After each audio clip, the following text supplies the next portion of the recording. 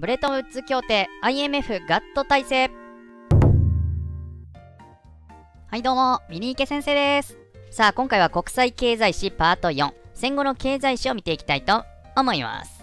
前回の復習から第二次世界大戦前に各国が金本位制度から離脱して管理通貨制度になったよね。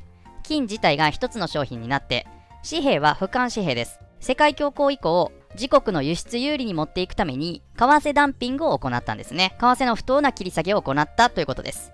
金という絶対的な物差しを失った各国は、もはや他国通貨を受け入れること自体が怖くなって、共通通貨を使う自国と植民地で行う排他的貿易体制であるブロック経済に陥っていくわけです。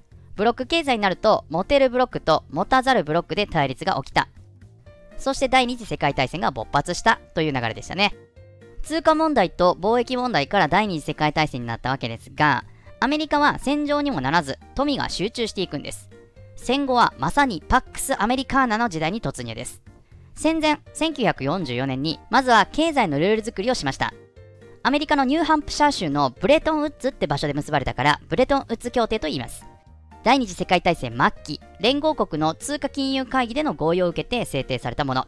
今日のポイントは、ブレトンウッズ協定です。ブレトンウッズ協定は先ほど言った問題、通貨問題と貿易問題を解決するためのルール作りです。そのために置かれたのが IMF 国際通貨基金、IBRD 国際復興開発銀行、貿易問題を解決するために GATT 関税及び貿易に関する一般協定、これが作られていくわけです。ブレトンウッズ協定でこの組織ができたことから IMF ガット体制って言ったりするからね。じゃあまずは IMF 国際通貨基金の内容から見ていきましょう。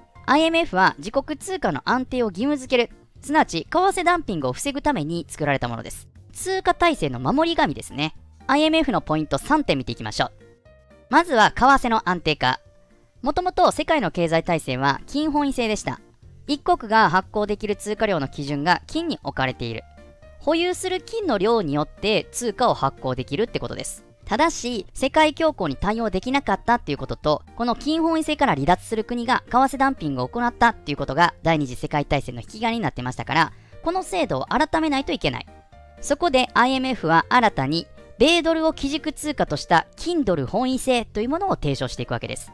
基軸通貨っていうのはキーカレンシーって言われて、世界の通貨です。世界の通貨はもちろんドルですよね。金と交換できるのはドルのみである。米ドルだけを金と交換可能。1オンス、金約 31g イコール35ドルだよとレート付けました。金と交換できるのはドルだけ。ってことは、金が欲しかったら、各国の通貨とドルを交換して、その上で金を買う。ゴールドとドル、ドルと各国通貨をリンクさせていくってこと。ゴールドとドルの交換をアメリカが保証していくってせいだよな。こういったのを金ドル本位制って言います。ブレトンウッズ協定以降、ドルが世界の通貨になりました。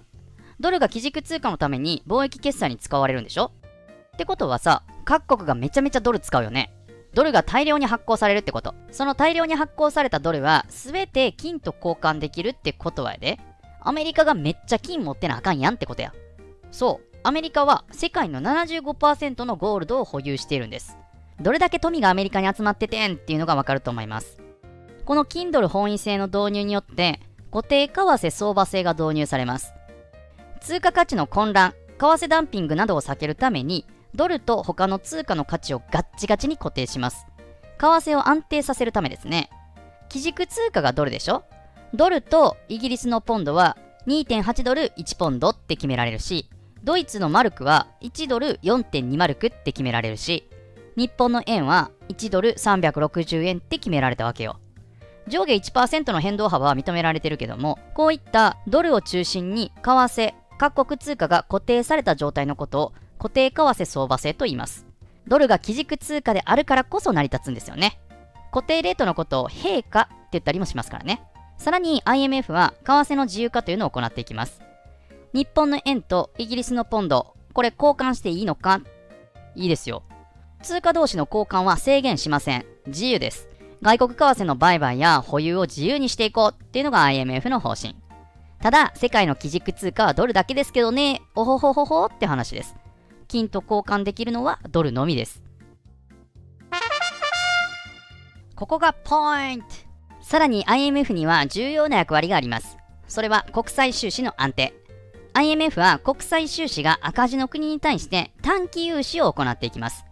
この短期融資いうのがめちゃくちゃポイントですからね。その国が借金だらけになっちゃったら戦争の方に向かっちゃう可能性があるから困った場合はお金を貸すよっていうことです。ただし IMF に未加盟の国には融資はされません。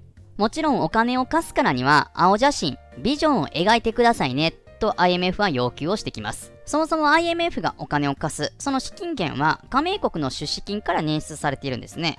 よって返せなかったら大変なことになります。貸付国に対しては返せなかったら大変だからあなたたちの政治に介入させてもらいますねっていうのを前提としているんですね。内政干渉を前提としています。実際にアジア通貨危機の時に韓国が IMF からお金借りた時にね、資金を返せなさそうだったから IMF が思いっきり介入してインターネット通しなさいって言われたんですよ。IMF はその国の内政干渉をするというちょっと怖い側面があるということです。国際通貨基金 IMF は国連の経済社会理事会の下にあります。でもさ、そもそも国連って財政なんちゃうかったっけと。例えば A 国が、すいません、お金貸してください。探求したのはよくわかってるんですけど、と言った場合、IMF は、わかりました。じゃあお金貸しますね。はい、300万 SDR です。え、S、SDR ですか ?SDR って何やねんと。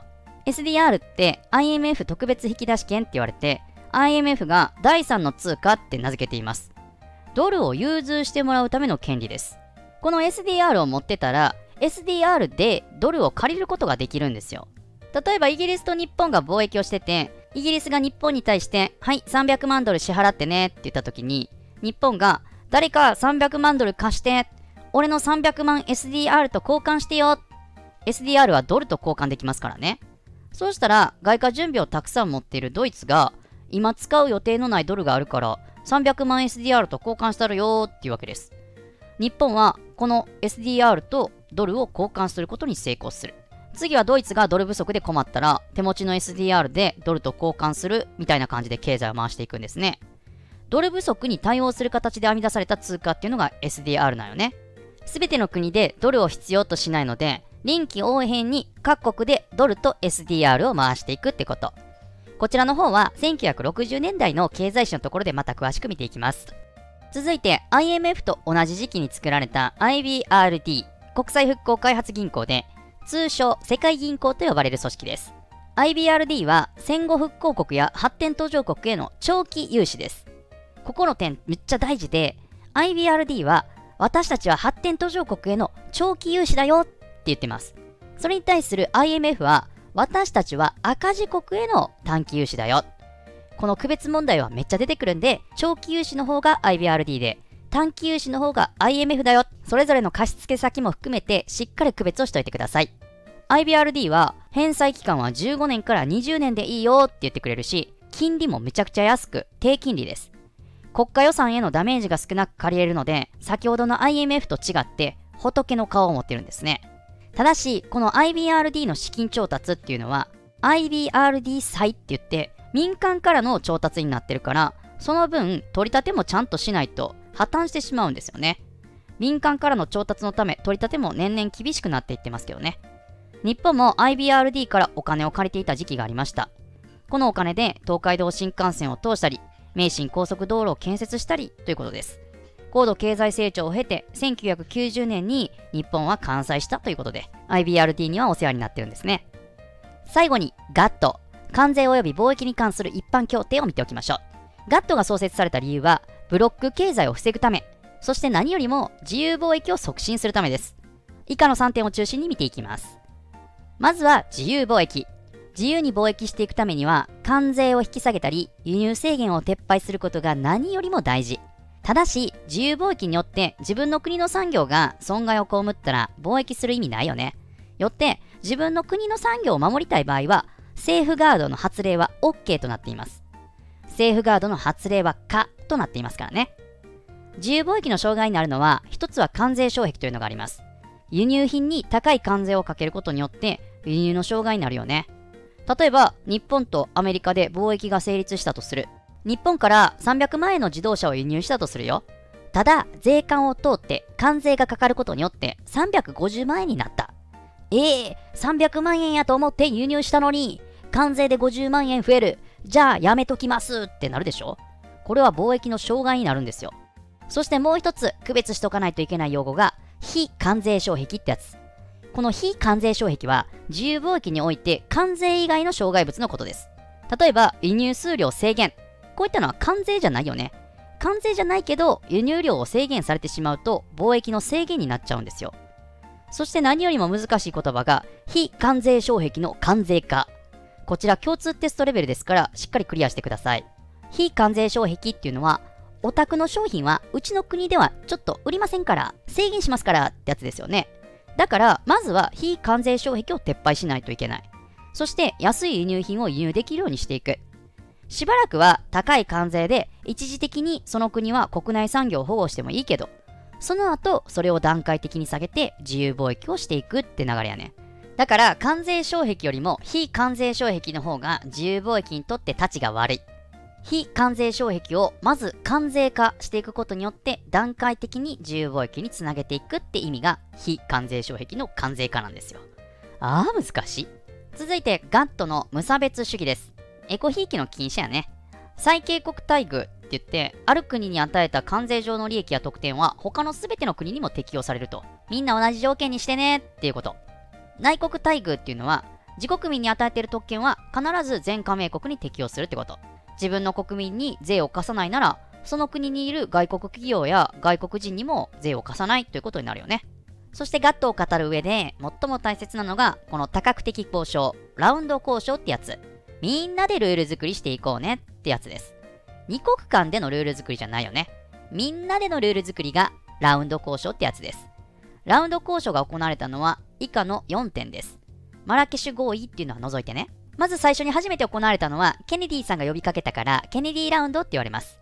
この成果は、工業製品のみ35%関税引き下げを実現しました。素晴らしい成果ですね。そして高度経済成長を遂げた日本で、東京ラウンド。ここでは非関税障壁の撤廃、農工業製品の関税引き下げという成果がありました。そして一番大きい成果として、1986年から1994年のガットウルグアイラウンドです。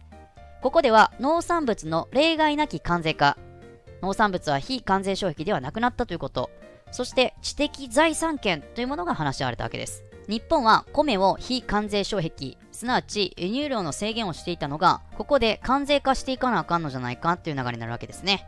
こちらはまた日本経済史で見ておきましょう。そして1995年のマラケシュ合意で、ガットから組織が WTO、世界貿易機関へ移行していきます。ワールドトレードオーガナイゼーション。これになることによって国際ルールがさらに整備され、為替ダンピング、セーフガードの発動要件が明確化されたわけです。ガットは前回一致、コンセンサス方式だったのが、全加盟国が反対しない限りで報復をできるっていうネガティブコンセンサス方式が採用されたと言われています。21世紀に入ってドーハラウンドというのが開かれましたが、これは成果がありません。交渉は暗礁に乗り上げているという状況です。この21世紀入った2001年すぐですね、中国が WTO に加盟しているということ、これ品質です。さらに2012年にはロシアが WTO に加盟したということ。この社会主義系だった2つの国が WTO に加盟したという意義は大きいです。センター試験でも西暦も含めてしっかり問われてますんで、押さえておいてほしいなと思います。以上、ブレトンウッズ協定 IMF ガット体制を見ていきました。しっかりと復習しておいてください。今日はここまで。